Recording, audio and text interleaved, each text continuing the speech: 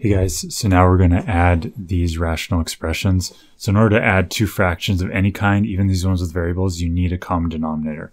So the common denominator here, well, we got to factor this first to find out.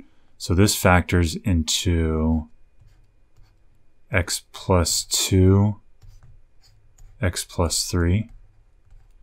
And since this one has an x plus 3, we know the common denominator here is going to be x plus 2, x plus 3. So you want to multiply the top and bottom of this by x plus 2.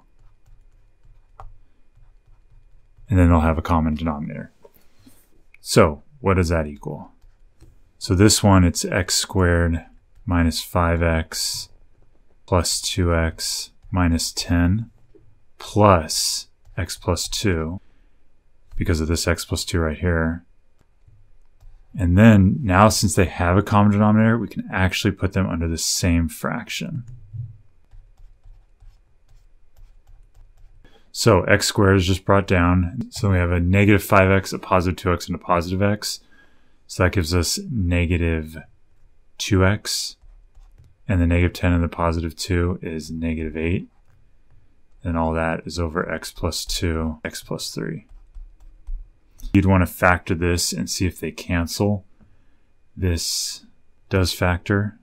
So it's x minus 4, x plus 2 over x plus 2, x plus 3. So notice these x plus 2's cancel. So the final answer is x minus 4 over x plus 3. Now if you had stopped here, because it feels like it's safe to stop. But had you stopped here, you would have been wrong because it actually simplifies further. So you always want to factor everything as fully as you can.